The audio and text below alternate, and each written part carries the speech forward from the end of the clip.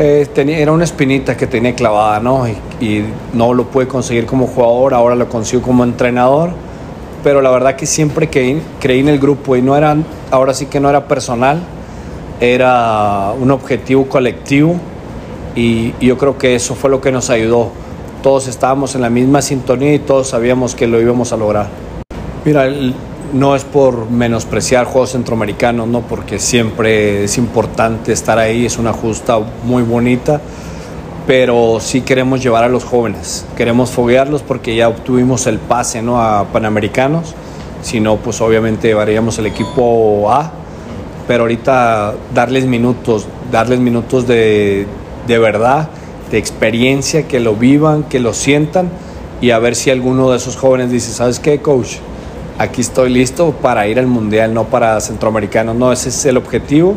Y por parte del coaching staff, como, como bien lo dices, no, este, también darle la oportunidad de que sean pues, el head coach, que lleve el cargo. Yo creo que eso es importante y que se puedan desempeñar. ¿no? Yo, en, en, esta vez no va a ir ni Caleb Canales, ni voy a ir yo.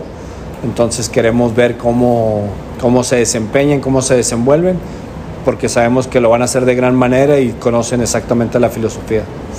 Sí, sí, porque prácticamente tenemos un núcleo de ocho jugadores que son la base, entonces va a haber seis lugares disponibles, cinco o seis lugares, entonces ahí es donde ellos pueden decir, sabes qué, levanto la mano, también van a ir jugadores del primer equipo, por supuesto, este Paul Stoll quiere ir, Gabriel Girón quiere ir, Kael que ya es de la rotación, aunque sea, yo le digo, el niño.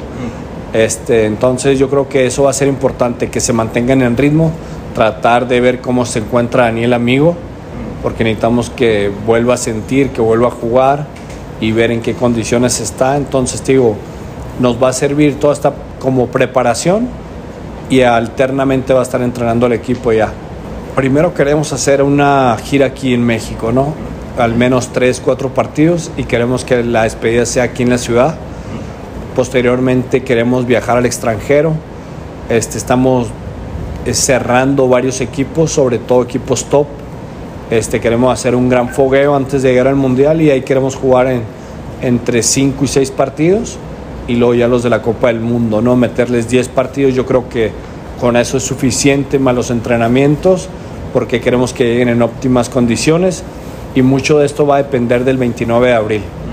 Después del sorteo, eh, tratar de buscar los rivales lo más similar que se pueda encontrar. ¿no? Hay varios patrocinadores que están muy interesados, te digo la verdad, este, como bien lo mencionas, Carlos nos ayudó en todo este proceso del, de la clasificación, pero ahora pues se quieren sumar más marcas, ¿no? Yo creo que eso es importante, es el auge que está agarrando el, la selección mexicana de varonil, pero también queremos buscar para eh, la femenil y todas las categorías pequeñas, ¿no? Que sea un, proyecto integral, integral y que podamos ser sustentables de todas, ¿no? Porque también ahorita, el día de hoy, nos acaba de confirmar FIBA, ya va a ser el, el, la AmeriCup de femenil en, en León.